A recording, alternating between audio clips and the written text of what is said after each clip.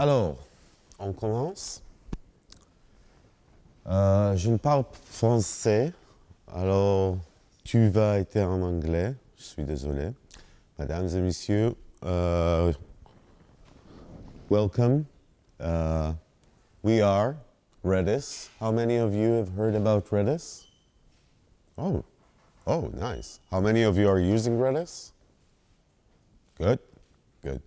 All right, so I come from Redis. Redis is a, uh, an open source database. I'll tell you a little bit about it uh, in a minute, but since most of you here already know about it, we can skip uh, most of the parts about Redis itself.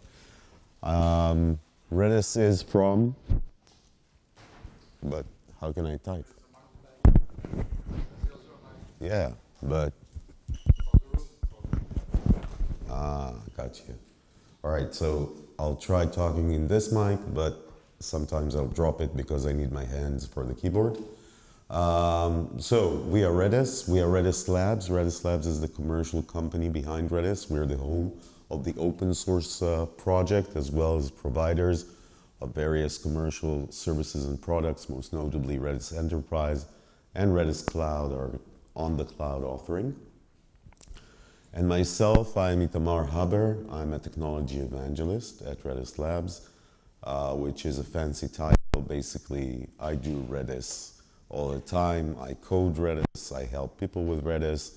I learn and teach Redis. And if you have any questions about Redis, please feel free to approach me either here or online. Um, oh, I didn't complete this slide. Huh. All right, so the agenda is a little bit longer, but basically today we're going to talk about Redis gears. But for that, we need to start uh, with Redis itself. So Redis, and this is copy pasted from the Redis IO website. The Redis IO website is the home of Redis, the open source product. So you're more than welcome to go yourselves and look what's in it. But the first paragraph that you'll see at the home page is the paragraph on the board projected now. You don't have to read it all. I tried making some stuff bold uh, to make them uh, shout out more. But basically, Redis is a lot of things. It's kind of, people call it the Swiss Army knife of databases sometimes because there are lots of things in it. You can use it in many different ways. Uh, many people use it as a cache. Uh, some people use it also as a database. And some of us are even using it as a message broker. Redis itself has a lot of features. I think I said that. Uh, it has many data types in it, all sorts of data types, starting with basic strings, continuing with lists, sets, sorted sets, and some more exotic data types like the HyperLogLog, uh, and all kinds of neat tricks, including replication, disk persistence, clustering, Lua scripting. It's a whole smorgasbord of features and it is used widely, actually, very, very widely uh, when developing applications, especially web applications that need to be responsive. Whenever I talk about Redis, I try to, after almost seven years doing that, I try to pick the most interesting or most important things about Redis and sum them in this slide. So first and foremost, Redis is not just a name of the project, it's actually an acronym. It stands for Remote Dictionary Server, uh, as an FYI. Uh, it is pronounced Redis, uh, just as an FYI as well, and it is open source. It's licensed under the BSD3, the Berkeley Software Distribution license, a very permissive license. You can basically take the code, use it in whatever way you want. It also has the best documentation ever.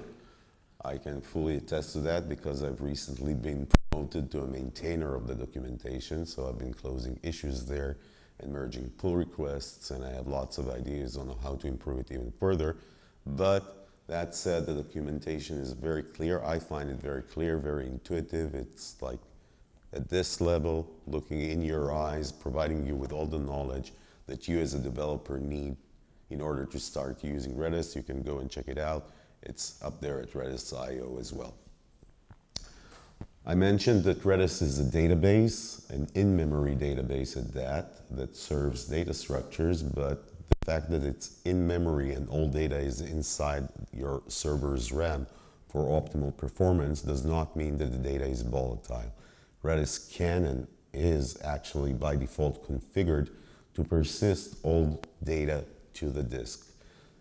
The disk is used for recovery purposes. Whenever the server is started or crashes, God forbid, you can hot load the data from disk. So there is this feature. You don't have to lose your data when you lose power.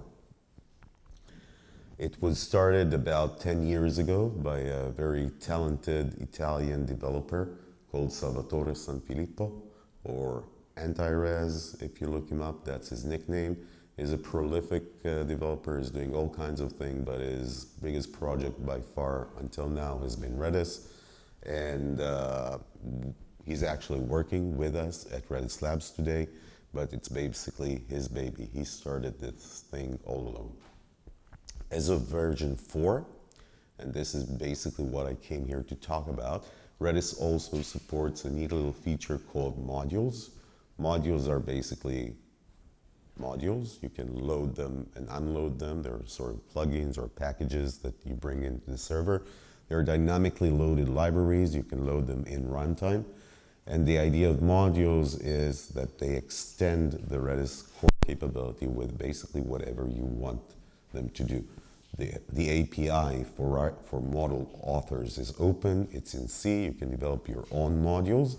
And Redis Gears, the topic of this conversation, is indeed a Redis module. It's implemented as a Redis module. Version, uh, this is as of version 4. Uh, we're currently at version 5 that was released earlier this year, and we expect to have uh, a GA version of Redis 6 by the end of this year. Uh, just to sum it up, two things about Redis to give you an intuition for the one or two of you who didn't raise their hands. Uh, Redis is a DSL for ADTs. This is actually lifted from the Redis uh, manifesto, a DSL, a domain-specific language for abstract data types. You as Python developers are familiar with that concept. Python has a rich, uh, a very rich uh, body of data structures that you can use right out of the box. You've got your dictionaries, you've got your lists, but you also have sets, and so forth. Redis is the same way, but in the database world. It provides all these, the same data structures, actually very reminiscent of Python, but in the database world. So it's a domain-specific language for manipulating uh, abstract data types. And always when you need to explain or you want to think, why should I use Redis? There are two good reasons, I think, for you to use it. The first, it's quite simple, at least I find it very simple. I came from traditional SQL databases and so forth, but Redis is kind of a, no-brainer in that sense. The other reason is that it's just fast. It's very, very fast. So when you need performance, you usually go to Redis. It started with Redis. Um, there are multiple ways, I've listed them here. My favorite is just cloning it from GitHub and then running make. It's as simple as that. It just, like in under a minute or so, it compiles and you have everything locally and you can play either with the unstable tip or any of the versions, but you can certainly go and use Docker. If you're afraid of that, it's just a matter of a Docker pull away. There's also a neat, uh, I didn't connect to the Wi-Fi, but on our, on the website on Redis.io, if you go to tryredis.io, you can get to a browser version of Redis. It's kind of an interactive tutorial. You can test Redis in your browser just to get a sense of it. Also, last but not least, my employer, Redis Labs, provide a cloud service. So you can go there and sign up. We can, you'll get a free Redis instance in the cloud for life, 100 megabytes. You can use it or not. It's up to you. Um, it's out there. So once you have Redis uh, in your system, or running somewhere where whether on your laptop or in the cloud you can connect to it. It's a server so you need a client to connect to it. I've put here two examples which i'll also show you live but there are basically two ways to connect uh, well only one way to connect to it. You open a communication channel with it over the network to a specific port and you start talking to it. There's a cli a client or a command line utility called Redis CLI, which comes in with Redis, so you can use that. But as Pythonistas, you'd probably want to do pip install Redis to install the Redis client, which is authored by Andy McCurdy, one of the top think, 10 or 30 packages loaded, downloaded from pip. I'm also a maintainer there. And you can use Redis on Python. So let's see how this looks like, just briefly. I have Redis, I have Redis running here on my machine. This is Redis. And I can go and type Redis CLI.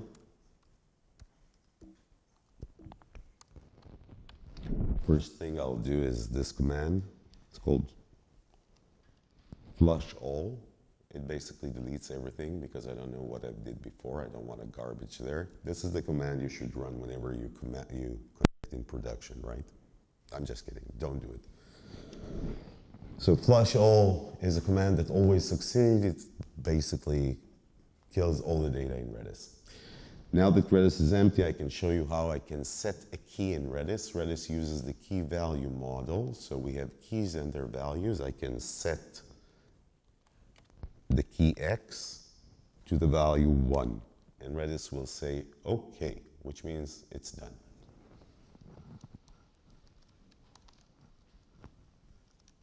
I can also do get x and very surprisingly get x's latest value. Another way to connect to Redis is through Python or through the Python client. This looks like this. I'm going to drop the mic for a sec.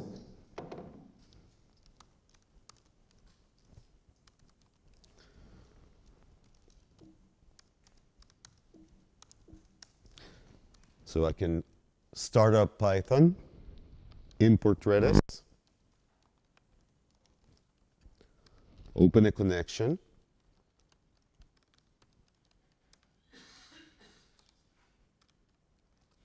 Using the default connection credentials, meaning the local host, and I'm connected. I can verify that I'm connected with the ping command.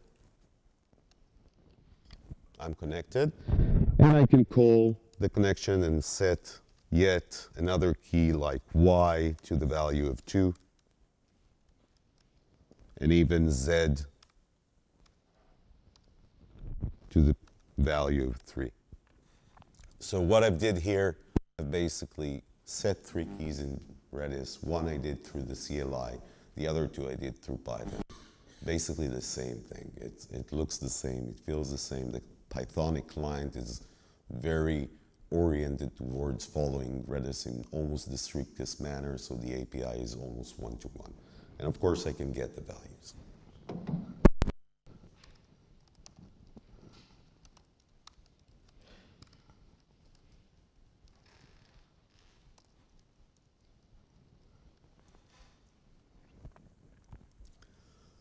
So that's just a little introduction to Redis. And what I wanted to show you today is not Redis. It's actually Redis Gears. Redis Gears is something that we've been working on for the last year, year or so in the labs. And if I want to blow your minds, I'll say that it's a serverless engine for multi-model and cluster operations in Redis, supporting event-driven and batch operations and also timed operations. But this is kind of a whole lot of words. What it actually does, it provides you with an almost agnostic way to deal with Redis because Redis comes in different flavors. It first can be run like I'm running it here on my laptop on a single instance or as a single instance. But there's another deployment form which is called a cluster in which Redis is clustered and partitioned across multiple shards. Each shard is a shared only node in the cluster. The data is partitioned or sharded across the cluster and basically, as a developer, you need sometimes to know how the data is deployed because if, there are differences if you're working against a single instance or a cluster. With Redis gears, you don't have to worry about that. The framework basically abstracts that for you. The framework also has a built-in cluster manager coordinator, so you don't have to worry about managing the cluster inside Redis Gears. As long as you have a cluster, Redis Gears will manage itself on the cluster transparently. And what Redis Gears provide you is a way to compose pipelines using a set of operations, basically map and reduce operations, to process the data in Redis and do interesting things with it. Redis Gears is also implemented as a source available project. It's up there in GitHub. You can go and look at the source code if you want, or download the source code. The homepage is listed here as well, so you can read about it. The documentation is there, and all the links. Let's see how we use Redis Gears, or perhaps a graphic example of what using Redis Gears could look like. So you've got Redis. Redis has a bunch of keys in it, right? And what you can do with Redis Gears is compile, compose a pipeline of operations. At the beginning of the pipeline, which is down here below, you've got your keys and their values inside the database. Redis Gears gets these keys and values using a component called the reader. To get the keys, we use the keys reader, which is depicted above. The keys reader basically scans the database and picks out all the keys from it. The keys, or whatever the reader actually outputs, is, is considered records. And records can be transformed or processed using any map reduce operation. For example, map them. We can map every record to another record. So records get mapped from one type to another until the pipeline is finished and then the same records, the records, the resulting records are called the result and are returned to the user. This, this next uh, slide basically summarizes what I said. We have a bunch of readers, the more, the more important ones are listed here. So we have the keys reader, which only reads key names. We have the key value reader, which reads keys and their values and put them into the pipeline. We have another nice reader called the Python reader, which basically lets you implement your own readers in Python. So you can do whatever you want. If you want, you can, I don't know, do a reader that reads your email into the pipeline. And we have a stream reader. The stream reader is a special reader. There's a new data type in Redis called the Redis Streams, as is version 5. I'll talk about it a bit later and show you how it works. So let's see a few examples of how we use Redis gears. Uh, and for that, all the examples are here for you to remember if you'll need a copy of the presentation or something, but I'm going to show you how I'm doing it in the keyboard because no one can read really code like that. So if you recall, I put a few keys in Redis right now. Um, I'm going to do the next uh, the following thing. Um, there's a small client we wrote called Redis Gears client. Ah, I need both fingers.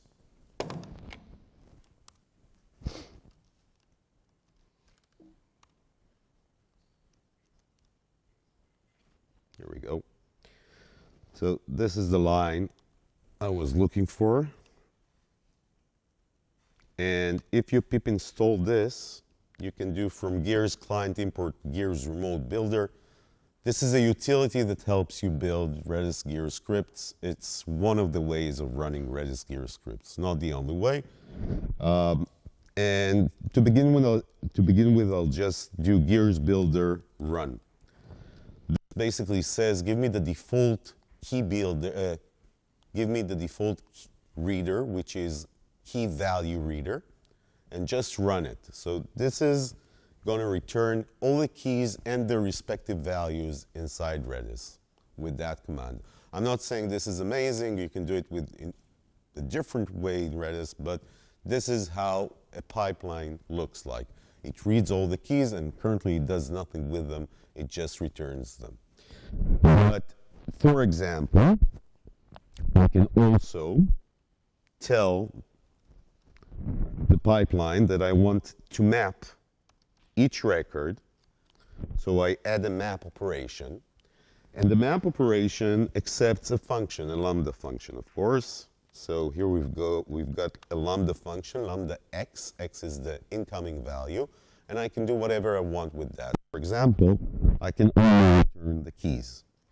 So instead of returning records that consist of a key and a value, I can return only the key name instead of the entire thing. And you can see that the map operation did just that. It stripped whatever came in, transformed it, and returned it to me.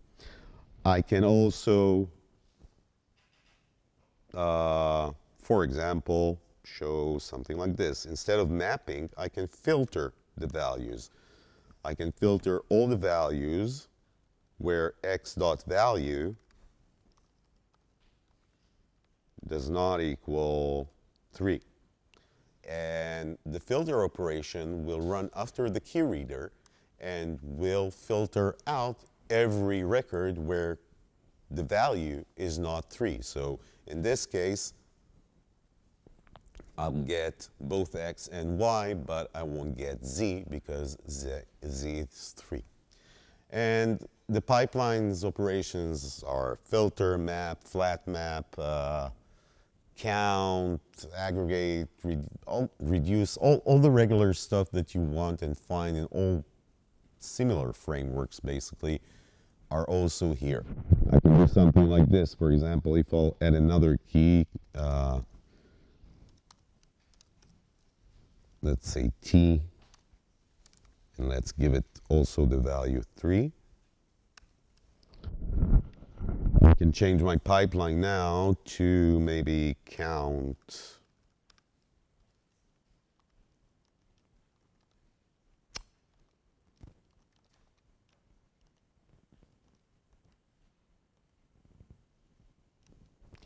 All right, so here's a query I prepared earlier.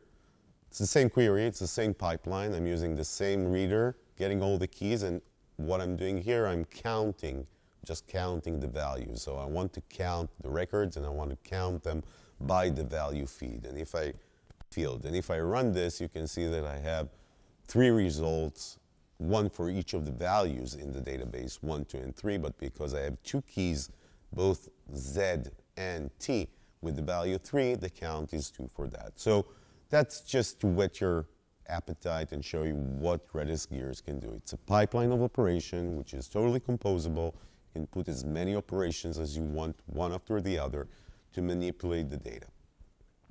And by the way, feel free to raise your hand if you have any questions. We've got ample time. These are the examples I've shown you right now. We can just skip them and get here. Another example I want to show you now is a little bit more complex and it involves a bigger pipeline.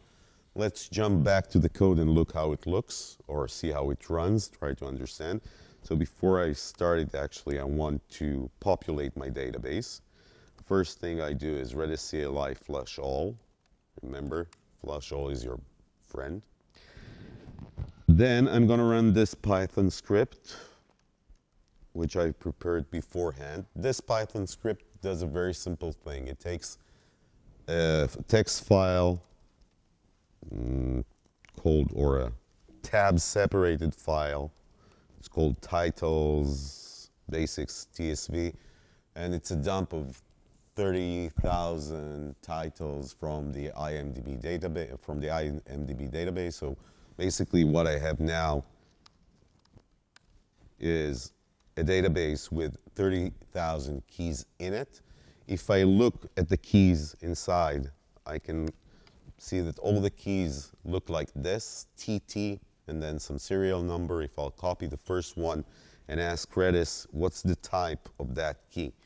Redis will respond, well, this is a hash. I knew that because the script creates hashes. So every title is a hash inside Redis. A hash is a dictionary. So I can do something like HGET uh, HKEYS, let's say, HKEYS on that key, and all the keys inside that hash are listed. So I have a tcons, the title type is an adult film, start year, and so forth. What interests me in this example is the genres field. So if I'll do HGET, which is the Redis command for getting a field or fields and their values, on this key, sorry, on the genres field, you can see that this film is a comedy, but the film can have multiple, uh, this was a bad example because some films have multiple genres and they're basically stored as a string with uh, commas delimiting each genre. What I want to do now, and this is a typical Redis database, okay? You use it in your application for whatever.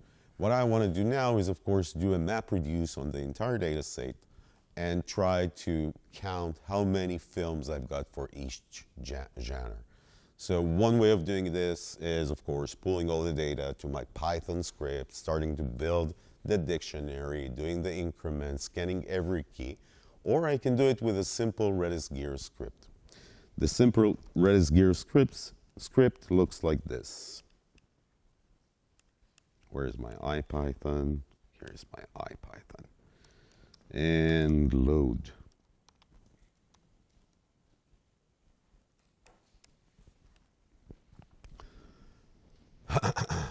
this example is also online. This is the link to the example, and I'll, I want to go with you through the example line by line. So the first two line, the first line is a comment, then there's an import, then there's another comment, and then we get to this line here. This line basically says, let's use the gears builder and assign it to a variable this time I'm not using the default reader, which is the key value reader. I'm using the keys only reader. The keys only reader basically just returns key names, nothing else. The next step, which I add to the builder, is a map step. The map step takes every input uh, record, which is a key name, and, and calls the, the execute command. The execute command basically executes a Redis command. So I'm mapping every key name and I'm doing an HGET on that key on the genres field just like I showed you in the CLI. So the next map command basically fetches for each key its genres field. Then I'm filtering out all the keys or all the genres that don't have a value. Some some, some of the movies don't have a value for genres, so I'm throwing them away. Then I'm doing a flat map, which is another pipeline pipe operation, which takes a record and can split it to one or more records. In this case, I'm using the genres, I'm splitting it. There can be either one or more returned values. Each one of the values from the genres is considered a new record. That's the flat map step. And last but not least, I'm running a count by operation, the count by operation on the genre itself. And then if I and then I run it, of course. So when I press enter, Redis will go to think a little and then return to me with all the films and their genres, or rather all the genres and their counts. It's not a pretty print, but you can see that I have a key. The key is basically the category or the genre, and then there's, there's a count for it. Now, the nice thing about it is that once I wrote the script, I don't care if it's on my computer running in a single instance development mode or even a cluster with 16 nodes and 30 million uh, films. Same difference, same script. It will go and do it and return to me the results. So that's pretty neat, I think. Uh, something that we didn't have up until now in Redis. Took, took, took us a lot of effort to actually go and code this over and over again with Python or you name the language, but doing it inside Redis. Right now we can run these scripts inside Redis, which is a, a very nice thing, I think. So I mentioned the cluster. How does this work in the cluster? I don't, I didn't install a cluster on my laptop. I can do that as easy as, but I wanted to use this fancy animation because it shows better what's going on beneath the, the hood. Um, in the cluster, in the Redis cluster, if you recall, the data is sharded. It's partitioned. It's a shared nothing cluster. There are two shards in the cluster. Each shard has a subset that is mutually exclusive of all keys. So the first shard has three keys, key one, two, and three. The second shard has a different subset of keys, keys three, uh, four, five, and six.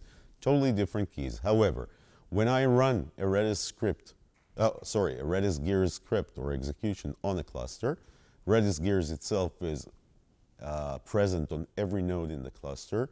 My request, my Redis Gear request, gets sent and distributed to the cluster. All the nodes work together. And what they do is the following. So let's consider, for example, the example of counting distinct values, very similar to what we've seen uh, right now, just like the genres, but with numbers. So on the left-hand side, à la gauche, we have uh, two basically distinct values, and on the right we have uh, three distinct values. What will happen once we say, once we send Redis Gears this, uh, the execution script is that each shard will perform the extraction, the mapping, basically, from the keys will get the values, and the result set or the record set in each shard will consist of all its respective values. Fair enough?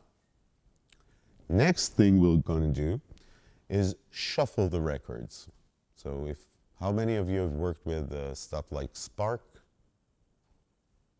None. All right, one, two. All right, so shuffling is what we do, or it's the name, it's the nice name of saying we're going to repartition the data.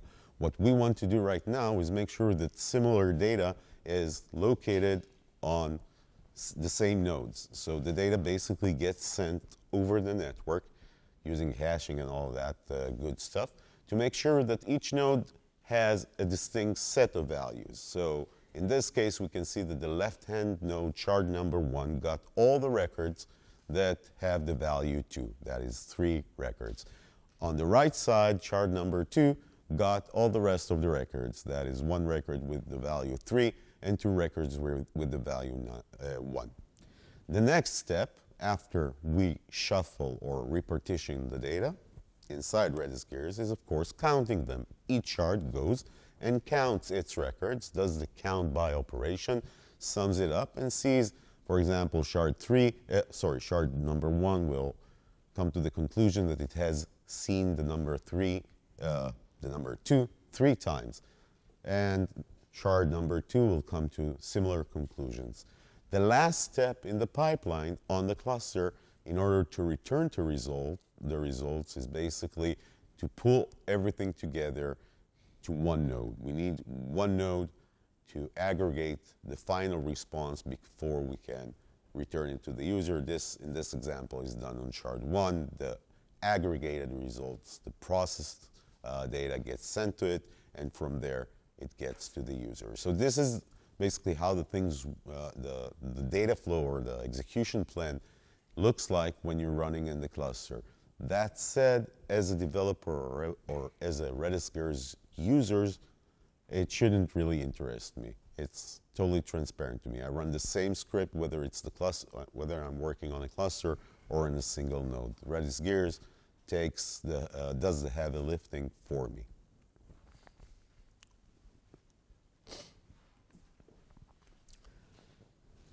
I mentioned that Redis has uh, a new data type and called streams and Redis is able to generate also stream of events. So Redis Gear supports both these modes. Let's talk about the stream of events first and then we'll see about Redis streams. So every activity in Redis, every time I set a key or delete a key or update a key or what have you, Redis can be instructed or internally it generates an event. I updated a key.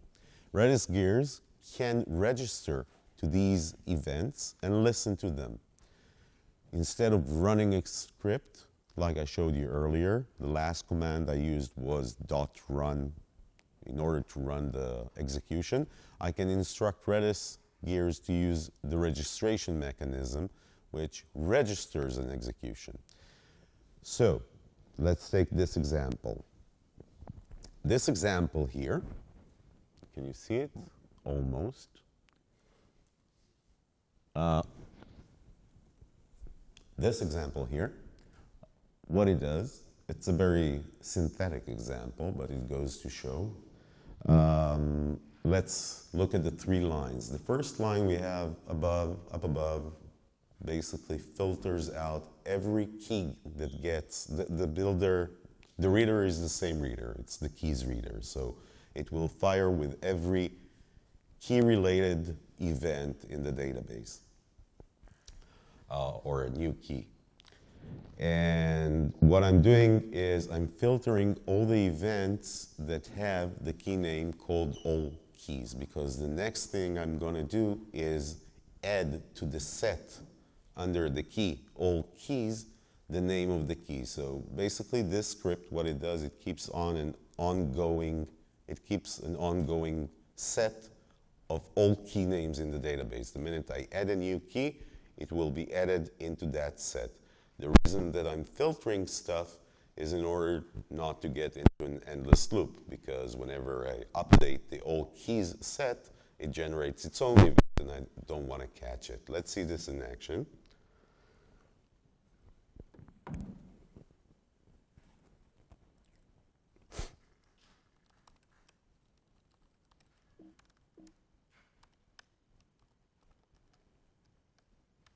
Just so we don't get uh, confused. If I look at the database right now, you can see that there are zero keys in the database. I can, for example, set my favorite key, foo, to the value bar.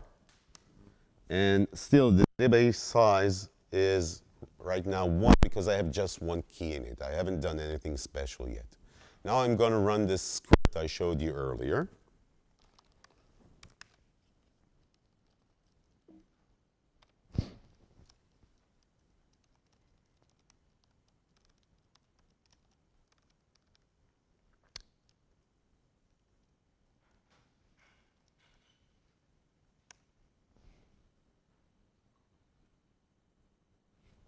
That's not good.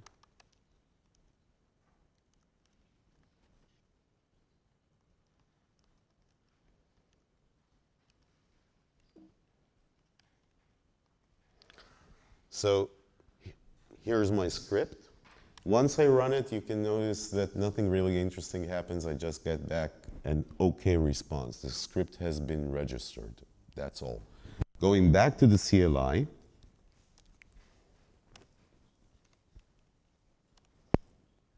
I can verify that the database is still just one key.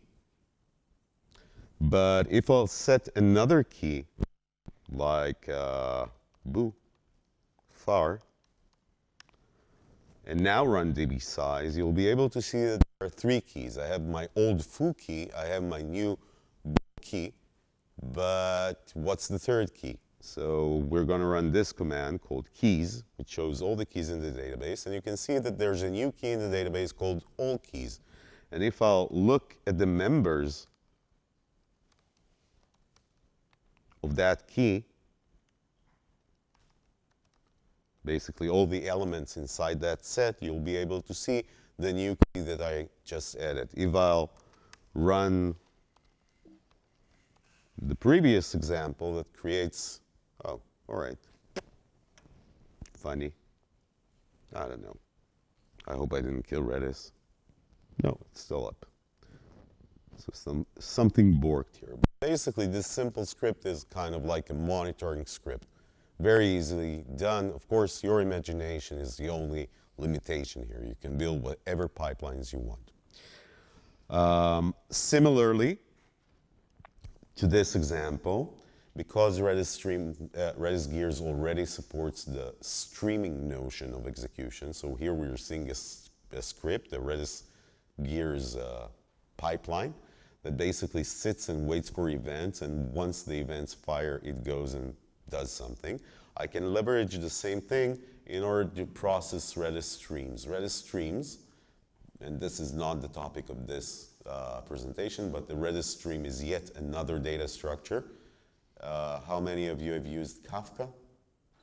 Oh, very nice. So Redis Streams is very similar conceptually, not implementation-wise, to Kafka's streams. It's a, a stream is an append-only data structure. You add stuff to it down below at the end of it. Producers basically append to it. It's immutable. You can change the data once it's been added. And you have entities called consumers that can read or subscribe to the stream and process it as, uh, as the stream grows. The consumers try to catch up. And Redis Gears supports that as well. I can run this example, uh, but it's going to be whatever what you expect. This, this example here, uh, let's run it. Let's see how it, it happens. So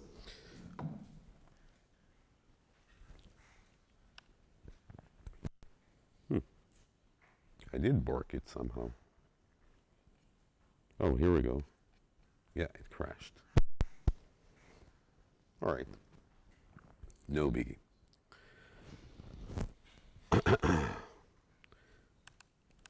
so my database is currently empty. If I run the script that showed this script here,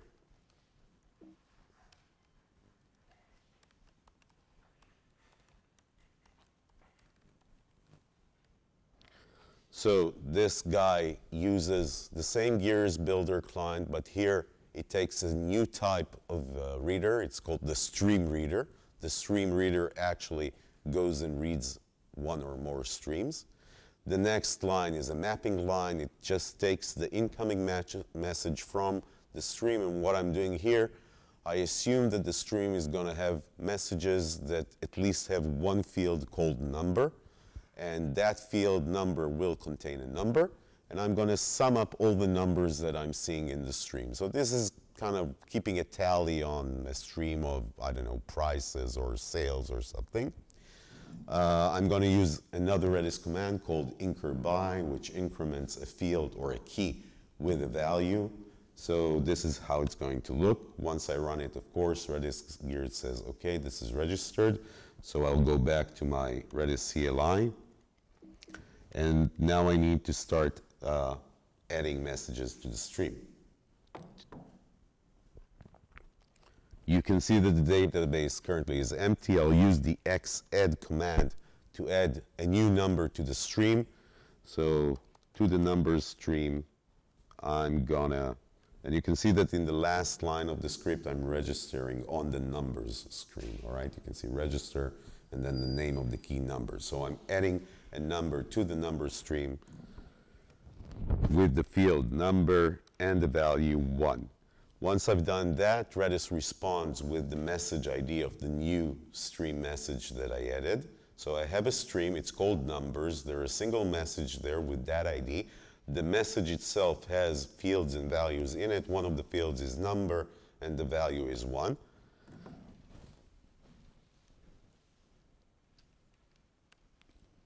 You can see that I have a new field or a new key in the database now called sum. I only created numbers, but my script created sum. And if I'll do get sum, I should get the sum of all numbers up until now, which is 1. If I'll add a couple of more numbers, for example, 2, 3, and 4, and I'll do get sum now. Who knows what's the answer? 10. All right, because 1 plus 2 plus 3 plus 4 is 10. So this is the stream processing, like very quickly, but this is the stream processing capabilities of Redis Gears. You build the script, the execution, and you register it to an event, either a stream event or a key space notification event, and you can trigger any um, activity or data processing uh, thing that you want. Questions up until now? Cool. Yeah.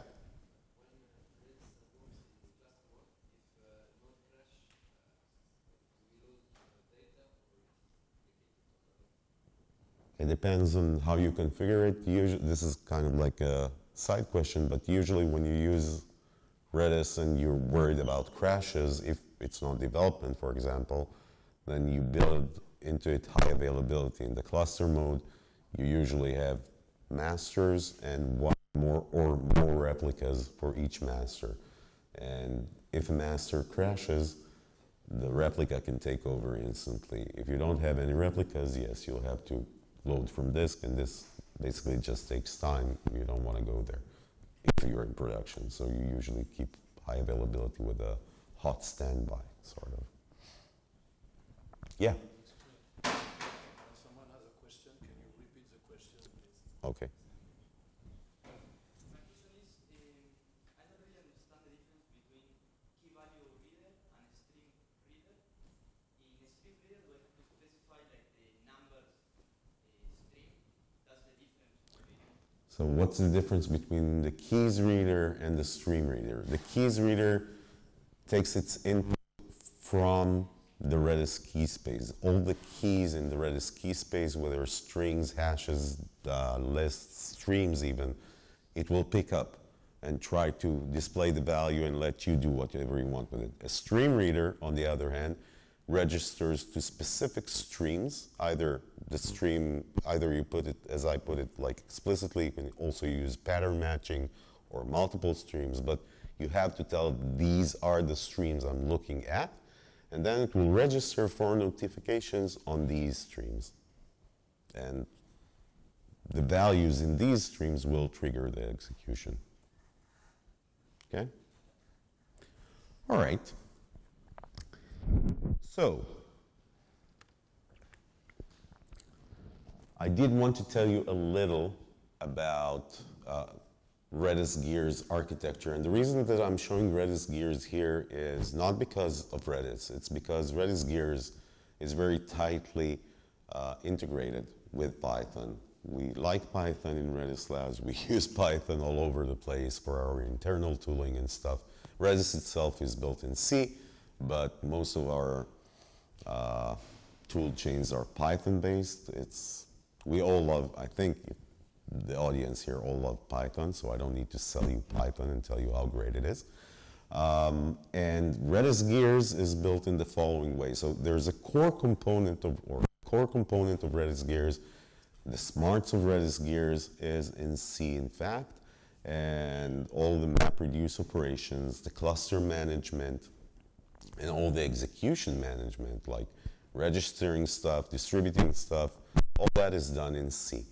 Uh, this core is exposed or exposes a C-level API. So if you're a C programmer or are a developer in a language that has a C, C API uh, connectivity, you can actually plug into Redis Gears as is. It's a standalone library and you can start using it. However, mm, I'm a C programmer, but it's not the easiest thing to do. It's brittle, it's hard, it takes time. We did want to make this ability more accessible, more usable. We didn't, we didn't want people to start compiling things just to use Redis Gears. And this is where Python comes in. We do offer a Pythonic API. You've just seen the Pythonic API, which basically lets anyone, because I think anyone can do Python. It's one of the easiest languages ever. Um, just jump into the action and just use its own, like use regular Pythonic syntax to start working with Redis. It's not just Python itself. You can use whatever Python package you want. You just pip install it and use it inside your Redis gear script. So we're opening the world here to, to anyone who wants to extend Redis or do stuff that it's harder to do inside Redis right now. We are planning on more languages to support, supporting more languages API. Probably Java is next, but uh, currently this is the only thing that's actually out there. Um, so the C API that Redis Gears exposes is used by an embedded Python interpreter that we put inside Redis Gears. The Python interpreter uses the C API to, to interact with Redis Gears. And you use the Python interpreter to interact with the entire thing. There are several big uh, advantages using this model. The first is that it's very, very fast comparatively. Fast or performance is derived from the fact that we have direct access to Redis's objects. We don't need to copy stuff. We don't need to move stuff too much. We don't need to allocate memory. So we're both fast and efficient in that term. And another neat feature is that we actually took the memory allocator from the embedded Python, and instead of using the default memory allocator, we we've provided it with Redis's memory allocator. So right now, any memory that the interpreter consumes is also accounted for under the Redis process and can be monitored and managed as part of it.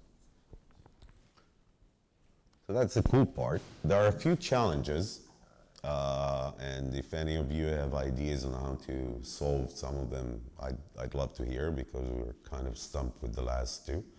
Um, so one of the biggest challenges is that two different clients basically share the same interpreter. We have just one interpreter inside Redis Gears, a single Python interpreter. So everyone shares the same interpreter. That means that if I install ImageMagick or OpenCV, then everyone has, everyone inside this Redis server has access to the same packages that I'm using, which is not so great, but it is what it is right now. There's also no concurrency. If you've heard about the Python GIL, it's kind of a thing. Um, there were rumors that it would be solved in the last version, that it's 3.8 had a promise that this will be uh, alleviated to a degree. But when 3.8 came out on October, this feature was missing from uh, the release. So hopefully it will be re resolved in the future release of Python. Right now we're limited to a single running script at any given time. But the real problems, at least as we see them, are uh, basically security and stability. Um, security, you can pull in anything into Redis right now with Redis Gears. Redis tries to be somewhat protective of the data and what it does, but once you've put Redis Gears into it and you've pip installed the entire will of the world into it, uh, there's no going back. It's a big security breach. And furthermore, the, the real uh, the real cause for concern is the fact that the Python code or bytecode or interpreter is running in the same memory space or under the same, under the same process as Redis. So potentially a bug there can crush the entire database server, which is a very, very, a very frightening thought. Like they don't let me in production because I flush all. So that's good. They can block me, but how do you block crashing code? That's a little bit more uh, difficult. So these are the challenges that we're currently facing. We've tried sandboxing Python in different ways. We've still to hit uh, a good spot with that. Um, another thing I wanted to talk to you guys, the Python guys, about is how we use that uh, single in interpreter. So initially we did have just one interpreter uh, and we used that. Uh, but then we think about what happens if you have two gears scripts running and each one of them begins with this line, global counter, and you're using the same interpreter. Uh, it's a world of pain. You don't, you don't want to go there, it's not working. On the other hand, using an interpreter per client is just too expensive. You don't spin up a whole Python runtime for every script. It's, it's ludicrous uh, it takes a lot of resources and drops the performance. So what we've found, what we are using, are sub-interpreters. Sub-interpreters is a feature, uh, is a Pythonic feature, which basically almost totally allows you to run in your own isolated environment. The C API for Python provide three calls to instantiate, resume, and terminate a sub-interpreter. Spinning up a sub-interpreter is very, very fast, and also because it's kind of a light, it's a sub-interpreter, it, does, it doesn't cost as much as a full-blown interpreter. Uh, and internally, we manage the connection or association between the user executions and the sub-interpreter that they use. The same sub-interpreter gets reused by the same script. So if I did do something like global counter in my script, this sub-interpreter will return to me. So it will be consistent. My counter will come back to me in, in successive runs.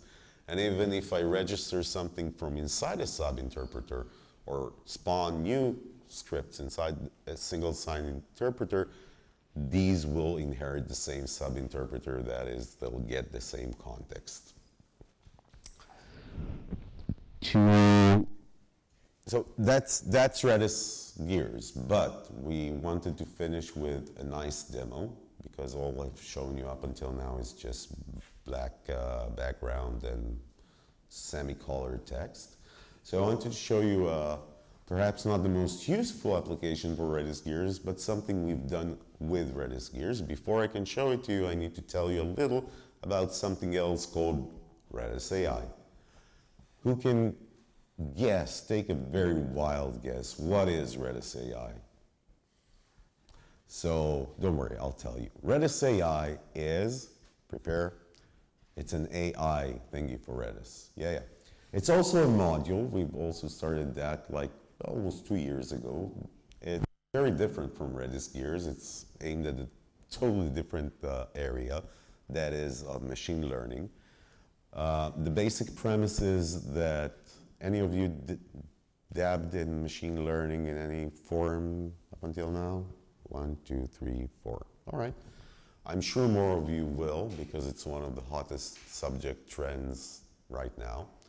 It's basically old stuff that we've also always known, but it's becoming easier nowadays to, de to develop uh, machine learning models. The real problem that we've identified is once you've got your machine learning model ready after you've trained it with all kinds of stuff, is how do you actually take that model and deploy it and run it in production? Uh, and we thought that Redis had enough uh, credit to its name as a production server. And the nice thing about machine learning is that basically we've figured, we, we realized that if your data is already on Redis, if you're using Redis as a database, then why not use machine learning modules on that? So Redis AI is yet another module from Redis Labs. You can go look at the sources, download it, use it. It supports multiple backends, that is TensorFlow, ONNX, PyTorch, more to come. So you've got your current existing model that you developed or your data scientists or whomever it is developed in some back room and they give you the model.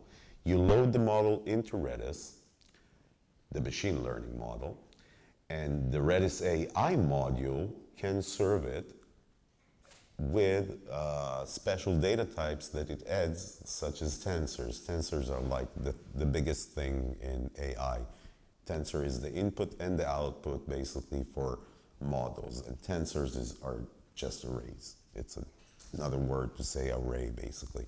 So you store these arrays, these tensors in model in, in Redis. You store the module, the machine learning model in Redis, and you ask Redis to run the model on the tensor and give you back the result. What can you do with that? Well, you can do with that a lot of things, but what we've done with that is the following. Not this. We built a very sophisticated mechanism that you can actually also download and just start playing with. It's fully Dockerized, so I'll use the Docker um, environment now.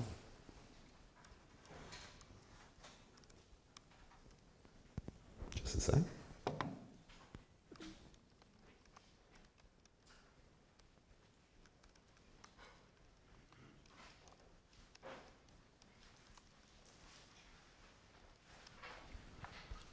So I have a Docker Compose file, which is also online uh, under the Redis Gears repository. This basically loads up Redis with Redis Gears and two servers. The servers are here. Let me show you. Here we go. So this is the first server. This is the second server. On the left, the server at port 3000 uh, I need to fire up another process for this to work. Just a sec.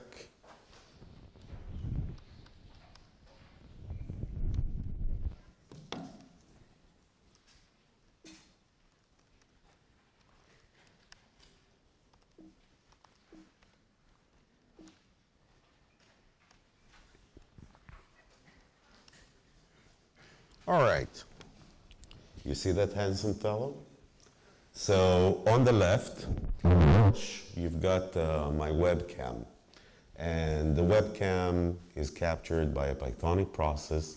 The image that you're seeing is being uploaded to Redis and stored inside the Redis stream. So basically that JPEG image is a, is a message in a Redis stream. And I've got a gear script on that stream writing that uses a RedisAI module to find out or answer the critical question cat or not Chat ou n'est pas un chat? Alors, moi, je ne suis pas un chat, je crois. Mais.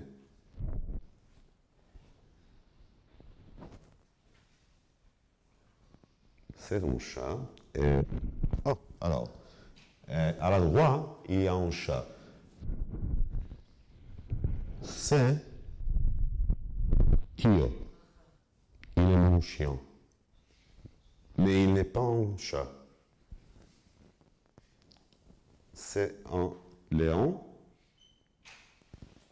I'm, uh, this is my sign, by the way. I'm a Leo, Leo, but it's also not a cat. Let's see if we fool the model entirely. All right, it recognizes a cat. Um, the model is called MobileNet. It's a standard model, machine learning model that recognizes, does object classification. We basically took it as is, dropped it into Redis, built this uh, big, well, it's not that big. You can look at the script, the Redis Gear script, that monitors the stream and does the decision, and we display only cat. So this is just one application that is possible with the infrastructure or the framework that we call RedisGears. If you have any more any questions, I'd love to answer them. Uh, we're out of time actually, so I'll take your questions uh, at the back. Thank you, guys.